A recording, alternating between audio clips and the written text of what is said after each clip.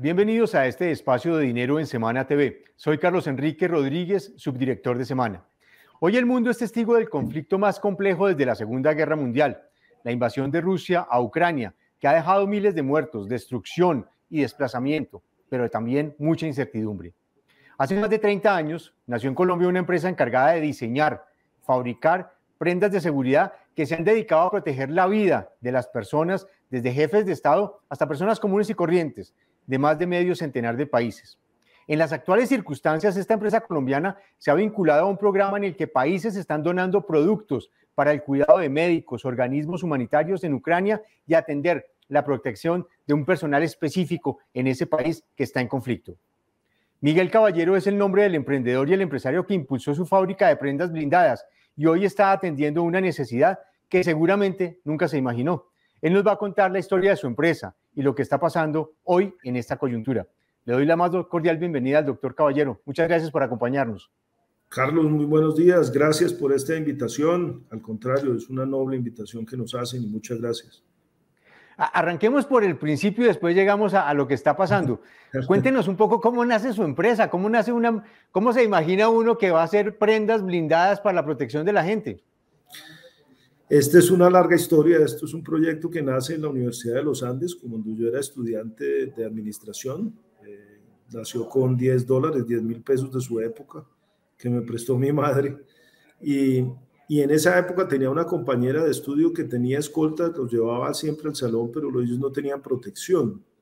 Y a raíz de eso elaboré una primera chamarra, chaqueta de cuero blindada que pesó 8 kilos y hoy en día eso pesa 800 gramos y en, el transcurso de estos 30 años eh, eh, empezamos a hacer eh, calidad en Colombia, todos los productos se hacen 100% en Colombia.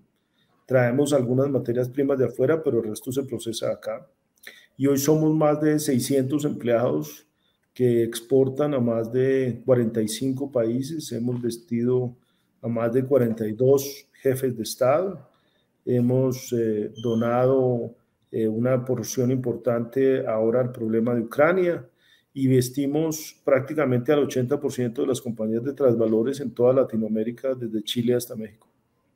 Eh, si uno tratara de dimensionar un poco la compañía, eh, ¿cuántos elementos de protección producen ustedes al año? Solo para tener como una dimensión de lo que ustedes hacen al año en materia de producción. Ah, desde el inicio a hoy hemos hecho 1.300.000 chalecos Anualmente hacemos algo cercano a entre 70 a 100 mil unidades aproximadamente en esta época actual. Elaboramos cascos blindados, chalecos y vestuario, o sea, ropa blindada. De eso tenemos una patente. Nosotros hoy somos el 10% de las patentes colombianas. Y los productos nuestros hoy están patentados en Colombia, Estados Unidos, México, la Comunidad Europea, eh, como prendas de protección personal, una camiseta blindada que tiene una patente mundial hecha en Colombia, eh, registrada en Colombia y marca colombiana. Eh, ¿Quiénes son sus clientes? Uno pensaría que pueden ser personas naturales, pero me imagino también que Fuerzas Armadas, ejércitos, en fin, ¿cómo, cómo funciona un poco ese portafolio de clientes a una empresa tan particular como la suya? Realmente el negocio se divide en tres unidades, una parte retail, eh, que eso lo atendemos a través de las oficinas de México y Estados Unidos, otra parte es empresarial, le vendemos a las compañías de vigilancia, transporte de valores, escoltas. Y la tercera parte es estatal, donde le damos protección a, la policía, al ejército, a la armada y la fuerza aérea en diferentes países. Hoy en día, la mayoría de los, el 100% de los chalecos que se usan en Salvador, o en Costa Rica, o en Paraguay, o en, en gran parte de Uruguay, los hacemos nosotros aquí en Colombia. Eh, y lo que hemos logrado con este gran esfuerzo de calidad y, producción es darle credibilidad a un producto colombiano en calidad a nivel internacional. Dentro de esas tres unidades de negocio, más o menos, ¿cómo es la composición en su portafolio de ingresos? ¿Qué tanto pesa cada una? Esa es una gran pregunta. Hoy ya logramos estar mitad y mitad, mitad estatal y mitad privado. Eso fue un gran reto, porque claramente el negocio estatal absorbe mucho más pero hoy en día ya estamos la mitad y la mitad en el sector privado y en el sector estatal en todos los países que estamos. Y, sumado a esa pregunta, el 60-70% aproximadamente ya se exporta y el 30% se queda en Colombia. realmente la infraestructura que tenemos eh, de toda la gente y máquinas y todo lo que tenemos, si estuviéramos solamente en Colombia se necesitaría el 20% de nuestra capacidad, el resto es todo para oferta exportable. Esas exportaciones, ¿hacia qué mercados van? Es decir, uno pensaría que hay unos mercados entre comillas, tradicionales, Estados Unidos, como se lo menciona, México, pero ¿cuáles son esos mercados, por llamarlos de alguna manera, exóticos o, muy diferentes dentro del portafolio de países destino de las exportaciones colombianas? Obviamente, en este momento es Ucrania, obviamente. Eh, obviamente, eh, después de ello seguirá Medio Oriente, eh, tercero es Estados Unidos, cuarto es Chile, quinto es México, y el resto es todos los países de Latinoamérica donde tenemos presencia. ¿Cómo fue un poco ese, ese proceso de, de arrancar, producir y después exportar? Quiero, quiero arrancar como en ese proceso de comercio y después arrancamos un poco con el tema de producto porque creo que ahí también hay algunas innovaciones interesantes. ¿Cómo arranca usted a exportar? Es decir, una pyme que lo está viendo hoy dice, oye, ¿este man cómo hizo? Eh, con mucho esfuerzo y sacrificio. bueno, aquí es importante resaltar que como empresario, yo tengo la visión de no vivir de las utilidades. Yo soy un empleado más en la compañía y, para mí las utilidades no son el objetivo. Dos, eh, yo creo que los 30 años gasté los primeros 10 años desarrollando el producto, los segundos 10 años aprendiendo a venderlo y los, los segundos 10, los últimos 3, 10 años aprendiendo a exportar. Sin embargo, nuestra segunda venta fue a Suiza. Mi primera venta hace 30 años atrás fue aquí en Bogotá y la segunda venta fue a Suiza. Y eso me marcó a mí un camino muy claro, que, esta empresa nacería en Colombia, pero se dedicaría a exportar. Y hemos tenido eh, solicitudes de países que, es, bastante increíble recibir órdenes de esos países.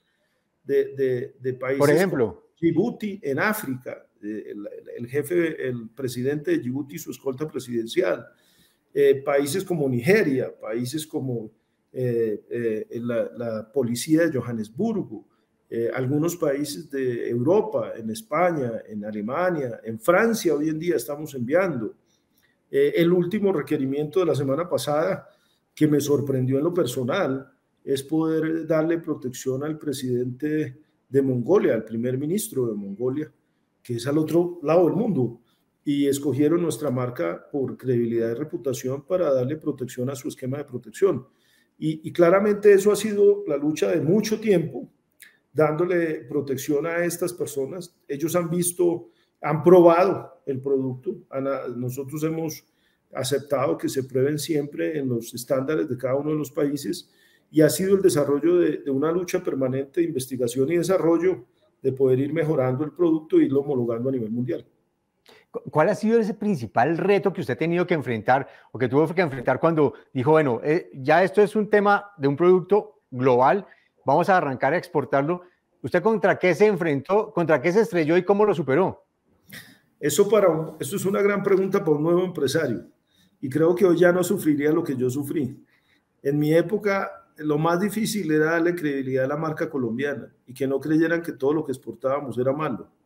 Aquí se tiene una mala teoría de que todo lo que se hace es lo malo y lo único que se exporta es lo malo. No, había que luchar con darle credibilidad. Y basado en esa pregunta es que nació las demostraciones en vivo. O sea, nosotros hoy, al día de hoy, yo le he disparado a más de 800 personas en vivo como una demostración de calidad pero eso que aparentemente no se entiende, lo tuvimos que hacer para darle credibilidad a la marca. Y lo que buscábamos era que las personas dijeran, hombre, el producto puede funcionar y tan funciona que le hacemos demostraciones con personas reales. La, una de las últimas personas a la que le he disparado es a mi esposa. Pero en el largo camino de demostraciones, pues yo le disparé a mi abogado, le disparé a mi hermano, a mi esposa, a mucha gente que ha estado metida de una u otra forma en, la empresa. ¿Cómo es, ¿Cómo es un poco de esa idea cuando surge? Y se lo pregunto porque pues Colombia desafortunadamente en sus últimas cinco décadas o un poco más ha vivido en un conflicto permanente y obviamente la violencia ha sido parte de nuestro ADN, desafortunadamente. Eh, ¿Ahí vio usted una posibilidad de negocio para desarrollarlo? has dicho algo muy importante. De la guerra algo se aprende, de las cosas que hemos vivido en Colombia, mucho tenemos que enseñar. Tan es así que hoy los principales jefes de seguridad de las principales corporaciones son colombianos. Hoy el presidente de seguridad de Pepsi Cola, por ejemplo, es colombiano y el jefe de seguridad de, algunas de las compañías más importantes son colombianos. Hay un destacamento de 3.000 ex soldados colombianos hoy en los Emiratos Árabes al, este, eh, dando protección a los Emiratos. de la guerra aprendimos a defendernos y de la guerra aprendimos eh, calidad y aprendimos a hacer productos. Y hasta hace algunos años se exportaban carros blindados desde Colombia, eh, pero en nuestro caso en particular, pues aprendimos fue a hacer ropa, corbatas, maletines, chalecos, cascos, y, eso ha sido una travesía en el tiempo de poder decir si, si funcionó en Colombia, funciona en cualquier lugar del mundo. Y eso, esa frase ha impactado como marca país en los países donde hemos llegado. ¿Cómo fue el proceso del desarrollo del producto? Es decir, porque uno siempre se imagina un chaleco antibalas, una vaina gigantesca, súper visible, eh, como dicen ahora los pelados, muy, muy boleta. ¿Cómo hicieron ustedes para desarrollar prendas de vestir que realmente pasaran, entre comillas, inadvertidas al ojo de cualquier persona? Pues el reto, Carlos, desde el principio era hacer un producto exportable y para poder llegar a eso había que hacer un estándar de calidad creíble a nivel internacional. En Colombia no se pueden probar este tipo de productos de manera muy técnica, así que teníamos que pasar a pruebas internacionales, someter el producto a pruebas en Estados Unidos, en Europa, en Medio Oriente, recibir los certificados de aprobación y con base en eso darle credibilidad. Pero Tuvimos que invertir en investigación y desarrollo anualmente, algo cercano al 40% de las utilidades se van a investigación y desarrollo para hacer calidad certificada, diseño aplicado, materiales con nanotecnología. Y la mezcla de los tres nos lleva a algo llamado innovación real. Entonces podíamos demostrar que la innovación no era de papel, sino la innovación se podía lograr. En el año 2016 recibimos un premio honorífico frente a una entidad que se llama el Red Dot Design. Es, como el Oscar del diseño, donde participaba Boeing, participaba Nike, participaba eh, Canon, y estábamos nosotros y nosotros ganamos. Y nosotros éramos los únicos colombianos con, con un producto de blindaje. Eh, ¿Esto en dónde nos ubica? En el reto permanente de estar innovando, creando y hacer que la evolución en el, en el riesgo también cambie. Hasta hace unos años el riesgo era una flecha de arco, luego pasó a municiones de balas, hoy está cambiando a municiones, a armas eléctricas y en el futuro seguramente tendremos algo con pistolas de rayo láser y seguramente la compañía va cambiando a lo largo del tiempo para atender esos riesgos.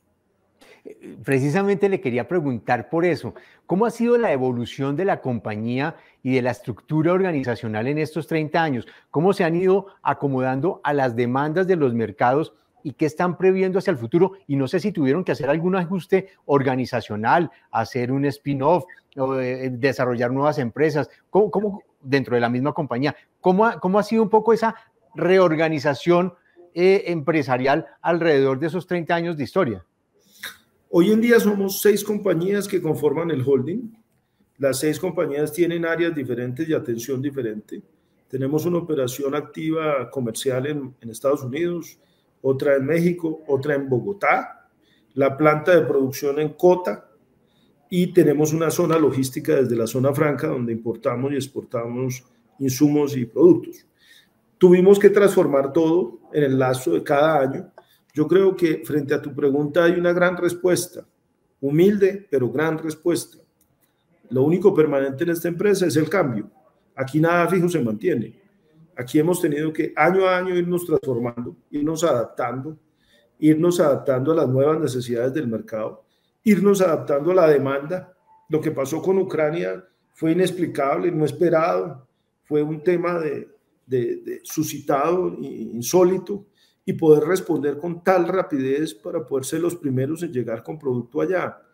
Eh, hoy en día, gracias a Dios, tenemos la ventaja de poder mostrar producto con, con credibilidad, porque es que yo siempre le digo a mis colegas, nosotros estamos en un negocio parecido al de los bancos. Uno no sabe cuándo necesita el banco hasta cuando algo le falla. Uno no necesita una prenda blindada, sino hasta cuando alguien le dispara a uno. Mientras tanto, uno que tiene puesto algo en lo que cree que le va a funcionar.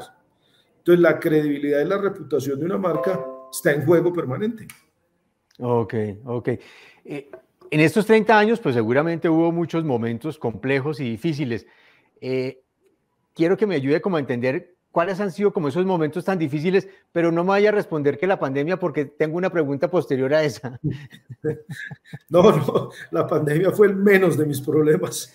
Eh, no, no, no, no, han habido momentos complicados. Eh, yo creo que desarrollar un proyecto de 10 mil de pesos y pasarlo a, a, crecer y tener cuatro empleados y volverlo en 800 a pulso eh, ha sido difícil. Yo no tengo socios. Esta no es una empresa familiar, pues aquí trabajan algunos familiares míos, pero se te consideran un empleado común y corriente. ha sido difícil, ha sido difícil crecer en un ámbito donde los impuestos no ayudan, crecer en un ámbito donde las exportaciones eran más difíciles, ahora es más fácil, crecer frente a trabas burocráticas de, poder establecer procesos mucho más alineados al sector empresarial, responder a, las demandas permanentes de adaptación laboral, a crecimiento laboral, e ir creciendo en parejo. la compañía crece, pero la estabilidad de nuestra gente crece el bienestar de nuestros funcionarios crece y la satisfacción de los clientes. Yo creo que lo que sí no ha tenido esta empresa como crisis es desafortunadamente no, no, o sea, más bien, afortunadamente, no hemos sufrido una pérdida de vida de una persona porque el producto hubiera fallado. E, eso no lo hemos tenido. Hemos estado 30 años salvando vidas, hemos tenido un récord de todas las prendas en las cuales ha recibido impacto, los diferentes clientes que lo han recibido y eso nos llena de satisfacción. Para mí es mucho más gratificante hoy recibir una llamada de un cliente diciendo gracias a usted salve mi vida y no me gané un negocio más. Los negocios vienen y van, es una cosa normal. Pero para nosotros lo importante es seguir adelante y tener claridad en lo que estamos haciendo. ¿Cómo hicieron en pandemia? Porque, y se lo pregunto porque el mundo estuvo en cuarentena, estuvimos restringidos, es muy limitada la movilidad, la gente no salía. ¿Cómo es un negocio en donde usted vende unos productos donde la gente tiene que salir a la calle, exponerse y tal, pero ya no es tanta esa exposición en un escenario de pandemia? ¿Cómo hicieron para moverse en esos dos años? Pues realmente nosotros no lo sentimos, porque nosotros estábamos dentro de la categoría de la excepción 15, que era productos de seguridad y defensa. Lo complejo para nosotros no era no seguir, porque gracias a Dios pudimos seguir trabajando todos los días. Lo complejo era tener protocolos de bioseguridad cuando no existían. Yo recuerdo sentarme un fin de semana, dediqué unas 30 horas a elaborar un protocolo de bioseguridad, tres meses antes de cuando saliera la ley 666, y, y hacer adaptaciones para que nuestra gente no se fuera a infectar y crear, invertir, hacer grandes inversiones para que la gente no tuviera eh, infecciones masivas. Nunca las tuvimos y, darle todo el apoyo psicológico y real a nuestro equipo de, trabajo. Eh, tuvimos problemas a orden psicológico de personas que como que les afectó la pandemia por, por aislarse, por no tener mundo social, jóvenes que se veían afectadas por eso. Tuvimos que patrocinar la ayuda de psicólogos para que ayudara a nuestra gente. Pero en la práctica nosotros teníamos que seguir adelante. La, cuando la pandemia detuvo el mundo, el mundo de la seguridad no se detuvo. Las personas de, los policías, la vigilancia privada, los escoltas seguían común y corriente y nosotros teníamos que seguir respaldando la labor de ellos. Así que no nos detuvimos, tuvimos que vivir grandes momentos muy complejos, pero pudimos cumplir a todas nuestras obligaciones que teníamos en ese momento. Usted mencionó una cifra del 40% de las utilidades en, materia de investigación, de innovación, de desarrollo. Eh, ¿Cómo, y, obviamente mencionó también que tiene unas patentes, ¿cómo hace uno para meter en el ADN de las empresas colombianas el tema de la innovación, el tema de invertir en investigación, en desarrollo, para poder capitalizar eh, oportunidades en los mercados? Porque a veces uno ve eh, en esas cifras macro donde dicen cuánto es lo que destinan las compañías a investigación y desarrollo los porcentajes son realmente muy bajos. Eh, ¿Cuál es la lección que usted le diría a, un empresario que lo está viendo? Oye, mire, apuéstele a esto que ahí está su futuro. Esa es una gran, gran pregunta. Eh, yo creo realmente, Carlos, que hay una diferencia muy grande entre un empresario y un mercachifle. ¿Y un empresario quién es? Quien tiene visión de largo plazo. No trabaja por, las, por el dinero, no trabaja por las utilidades, trabaja por la satisfacción personal, trabaja por crear industria, calidad, reputación. Y un mercachifle es el que vive de qué compro, qué vendo y qué me gané y hasta luego. E, en este caso, ¿qué nos pasó a nosotros? Que yo no tenía afán, yo no tenía afán de recibir utilidades, yo no tenía afán de, de volverme millonario, yo no tenía, a mí nunca me importó eso. Entonces, resulta que la empresa fue creciendo, yo le tenía que seguir invirtiendo. Entonces, cuando el primer año hubo utilidades, inmediatamente requirieron una máquina y al segundo año hubo utilidades y requirieron un galpón y al tercer año hubo utilidades y requirieron más máquinas y al cuarto año un edificio y entonces eso se fue dando. Y en el día a día la respuesta a tu pregunta es, hay que tener una visión de largo plazo. De corto plazo los negocios no se hacen, las mejores cosas nunca se hacen rápidamente, se, hacen construyendo. Y en nuestro caso lo más difícil era hacer un... Nosotros muchas veces frente a tu pregunta nos sentimos omnis en Latinoamérica. En Latinoamérica no hay una empresa como la nuestra, ¿no? Entonces uno dice, ¿cómo una empresa como esta se ubica en Colombia? Y seguramente la respuesta sería, pues claramente si yo hubiera iniciado este negocio en otro lugar, a lo mejor no me hubiera ido bien. Yo, yo nací en un producto como este, o el producto nació de un país como este, pues derivado de las circunstancias con las que yo crecí, seguramente. Pero teníamos la visión de que teníamos que tener calidad exportable, no calidad chichombiana.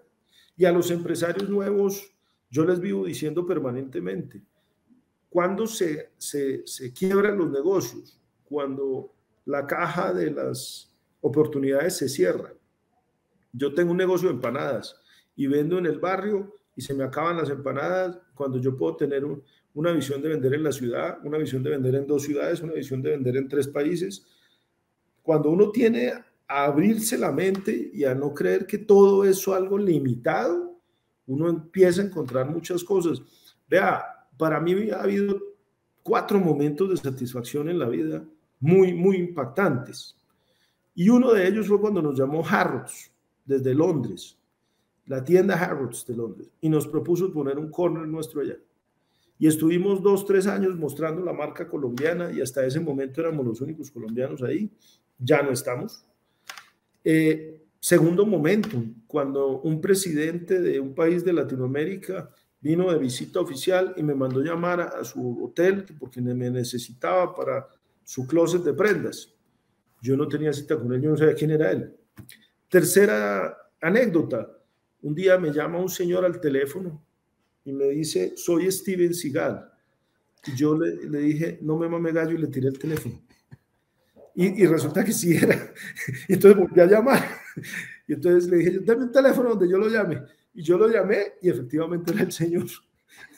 Y cuarta anécdota, cuando me llamó una vez un señor que yo no sabía quién era, David Blaine, es un mago muy famoso de Estados Unidos, es la generación después de David Copperfield, y me llama y me dice que por favor vaya para que le pegue un tiro, porque él quiere hacer un show con las prendas nuestras. Y, entonces, así ha habido anécdotas donde uno dice, pues eso es una diosidencia. El gran arquitecto del universo sabe cómo hace sus cosas.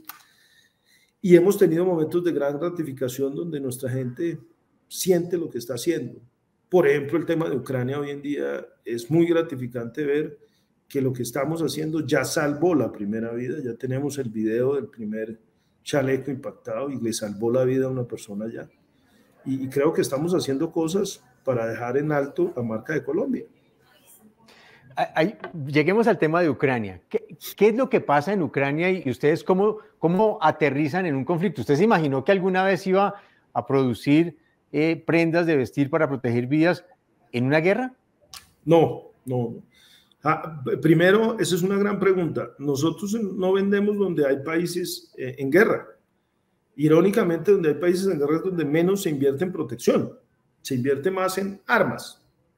Segundo, mi negocio no es este. O sea, mi negocio no es vender. Hay mucha gente que me, maltrata la marca y trata de llevarme a un ámbito donde decir que es que yo me lucro de la guerra. Hombre, yo no vendo armas, yo no vendo municiones, yo no vendo granadas, yo no vendo nada de esa joda. Entonces yo no entiendo para qué me meten ahí. Nuestra misión es salvar la vida del ser humano y la tenemos clara desde el principio, la definimos como misión clara en nuestra planeación y elaboramos cualquier cosa que tenga ese objetivo. Y tercero, pues Ucrania para nosotros fue una excepción cuando la guerra empieza el 24 de febrero y el 25 estallan solicitudes y solicitudes y solicitudes de protección de chalecos para civiles y de cascos para civiles, pues porque acordémonos que es que en este momento hay civiles defendiendo su país. Y en ese momento ocurrían tres fenómenos. ¿Quién tenía credibilidad? ¿Quién tenía el inventario de las materias primas? ¿Y quién tenía la capacidad de reaccionar rápidamente? Cuando usted hacía la solicitud a Estados Unidos, Estados Unidos lo ponía en stand-by 16 semanas para conseguir licencia. Cuando usted llamaba a Colombia, le podíamos entregar en una semana. Y eso nos ayudó en el proceso de poder responder rápido. Hoy ya llevamos 14 despachos aproximadamente. Eh, ya hemos surtido directamente al ejército de Ucrania, ya hemos surtido a médicos, enfermeras, civiles, uh, y somos parte de la solución. Ya, ya, ya hay, obviamente hay más compañías hoy haciendo esto, pero, pero para nosotros fue una satisfacción de que estar al otro lado del mundo, llegaran requerimientos de, de, Reino Unido, llegaran requerimientos de España, llegaran requerimientos de Grecia, todos conducentes a Ucrania. Y, y, el reto fue, y hoy hay una gran satisfacción para nosotros, cuando ha llegado producto de muchas marcas, ellos han probado y el que mejor les ha funcionado es el nuestro. Eh, ¿Quiénes son sus clientes? ¿Usted a quién le vende? Es decir, son países que están apoyando a Ucrania, son empresas ucranianas, es el gobierno de Ucrania. ¿A quién le vende usted? Le contesto esa pregunta de dos formas. Le vendo a los buenos del mundo, no le vendo a los malos desde que este negocio empezó. Me tengo la enorme satisfacción de no haberle vendido nunca nada a nadie malo. A alguien que esté al margen de la ley, con ese no voy. Eh, conmigo no está la vaina. Dos, en Ucrania hay tres grupos de apoyo están los gobiernos que están apoyando al gobierno ucraniano a través de dinero y equipo. Dos, compañías privadas desde Europa y Estados Unidos que están haciendo donaciones de dinero y equipo. Tres, el gobierno ucraniano que está comprando sus elementos. En ese orden de ideas, esos son los tres clientes nuestros en Ucrania. Ayúdeme a dimensionar el tamaño de lo que ustedes han despachado a Ucrania o, o en medio de este conflicto. ¿Qué, han despachado y en qué cantidad? Uh, hemos llevado a hoy, ya tenemos aproximadamente 4.000 chalecos y 4.000 cascos, ya nos estamos acercando a 5.000.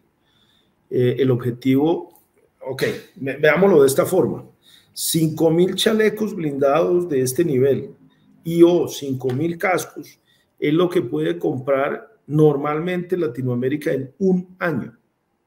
El proceso de producción de elaborar estos 4.000 en tiempo normal es de 90 días a 120 días.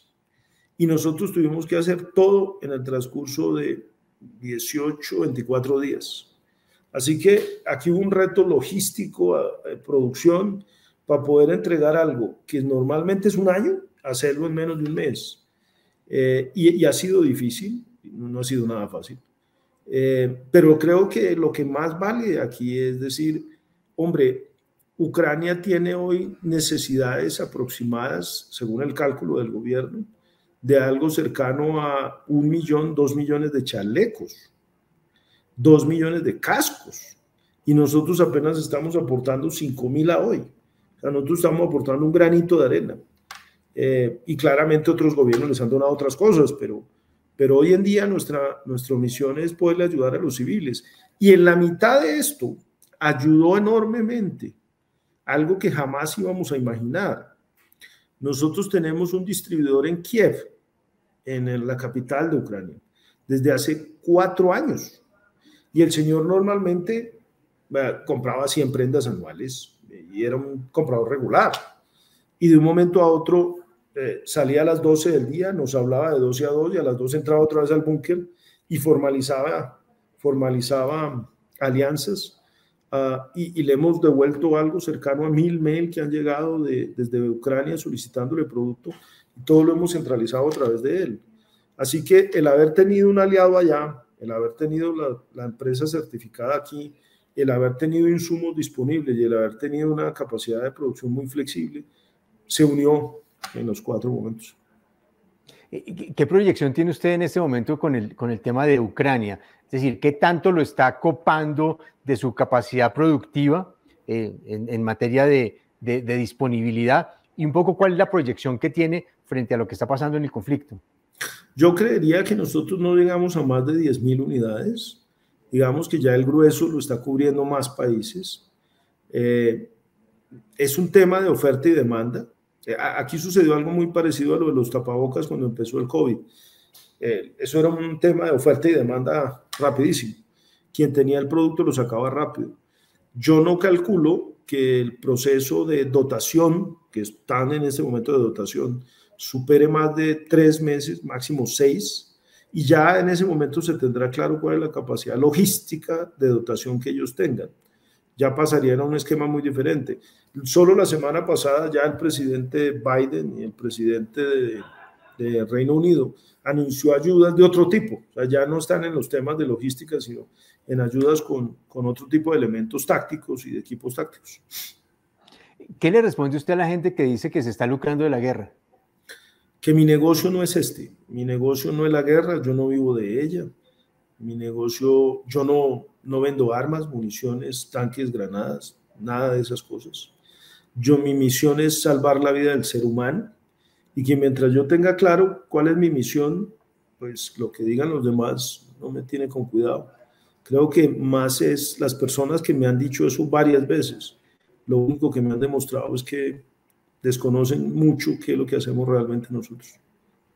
Pasemos a otro momento de, coyuntura que es muy complejo, ya no desde el punto de vista bélico y de conflicto, sino desde el punto de vista económico. Y es que estamos en una inflación desbordada y los costos se están desbordando no solo para los consumidores, sino también para los productores. ¿Cómo les ha pegado a ustedes eso? Muy duro, muy duro. La inflación en, las materias primas nuestras han habido incrementos de 20 a 40%. Y claramente si a eso le sumamos que algunos de ellos vienen en dólares, le sumamos la inflación más la devaluación. Ah, es difícil, digamos que nosotros tenemos una economía, una contabilidad un poco dolarizada, ingresan dólares, salen dólares. Ah, no ha sido fácil, digamos que competir en estos mercados eh, no es eh, fácil, pero tenemos la convicción de que sí se puede. La capacidad de... Primero, aquí hay tres cosas para resaltar en la pregunta. La inflación va a ser vertiginosa todavía un año más, porque Estados Unidos hoy en día tiene la gasolina en 5.19, así que todavía la inflación va a crecer. En la medida que se siga cerrando el cerco a la Rusia, pues el precio de las materias primas del petróleo se van a derivar en más incrementos y eso va a hacer que eso suba más. Y tercero, eh, yo creo que más allá de la inflación está en la resiliencia de la gente, de los empleados colombianos, de adaptarse rápidamente al cambio. Yo no, yo no me imagino montar una planta en otro país cualquiera, no, no, voy a mencionar un nombre, donde yo le tenga que decir a los operarios que ahora hay que trabajar de, de domingo a domingo 24 horas del día. Claro, pagando los derechos que eso corresponda, pero en un país ajeno, eso no lo van a dejar hacer. En un país como Colombia, la gente se compromete a hacerlo y lo hace. O sea, nosotros tenemos gente, personas comprometidas con la compañía, comprometidas con la misión, y eso hace que la inflación sea nada en comparación a lo que terminamos haciendo. Ok, ok. ¿Cómo, son un poco el rango de precios de lo que, eh, de lo que usted vende? ¿Un chaleco, un casco, eh, una chaqueta? ¿Qué precio tiene? La camiseta que usted me mencionó. La, camiseta blindada al retail, eh, al, negocio uno a uno, hoy se vende en la página web en 899 dólares en, en Estados Unidos. Eh, un chaleco de los que van a Ucrania aproximadamente vale entre 500 y 600 dólares. Eh, hoy en día, si vas a comprar ese chaleco en Estados Unidos, vale 2.000 dólares. Nosotros lo seguimos vendiendo en 600 dólares. Así que no nos estamos lucrando de algo que no hacemos. El costo de un casco blindado promedio está entre 500 y, eh, perdón, entre 200 y 300 dólares. Eso se ha mantenido. Ha sido más difícil es el tema logístico cuando traemos materias primas que vienen por barco y están retenidas en la mitad del agua, o cuando teníamos materias primas que por el represamiento de la cadena de suministros del COVID lo han venido frenando. Pero eh, hoy en día, eh, en un set, por ejemplo, el de lo que hemos hecho para periodistas, nosotros hicimos un set de periodistas que es un casco, un chaleco con cuello y esto, y dice prensa. Y hemos mandado hacia Ucrania eh, más de 60 kits, 60 sets. Y, y, eso tiene un costo aproximado de unos 1.200 dólares por set. Ok. Doctor Caballero, para terminar, eh, quisiera que usted, usted es uno de los casos donde eh, los académicos, los medios, todos resaltamos la importancia de, un caso como el suyo por materia de innovación, por estar en un negocio que es diferente a todos los demás. Eh, ¿Usted qué mensaje le mandaría hoy a los empresarios que están viendo la posibilidad y la necesidad de crecer? ¿Cómo hacerlo para, poder consolidar no solo el mercado local, sino también los mercados internacionales? ¿Qué, mercado, qué, qué mensaje les diría? Gracias por su pregunta, Carlos, porque la, respuesta es muy corta, pero el impacto de mi respuesta es muy grande. No hay cosas imposibles, hay seres incapaces. Claramente, cuando un empresario tiene una visión de servicio, de hacer algo con lo cual contribuya a la sociedad y a la humanidad, las cosas le van a fluir. Y nada tiene justificante para dilatar las decisiones. Si usted actúa bien y usted produce algo que le va a producir el bien a otro, Dios le va a seguir ayudando y la humanidad le va a seguir ayudando. Y al universo usted le puede pedir y el universo le va a seguir dando. Así que no hay que dilatar, hay que actuar. Doctor Caballero, muchísimas gracias por acompañarnos, muy amable por participar en, el programa, por dar los mensajes a los empresarios, pero sobre todo por tener un caso interesantísimo de, de protección de vida y de mirar cómo se puede hacer un negocio diferente, disruptivo en 30 años. Muchas gracias. Muchas, muchas gracias. Gracias por esta oportunidad. Bueno, mil gracias a ustedes por acompañarnos, por seguir esta conversación. Los invitamos a que nos sigan en nuestras plataformas y en semana.com. Nos encontramos de nuevo la próxima semana. Muchas gracias.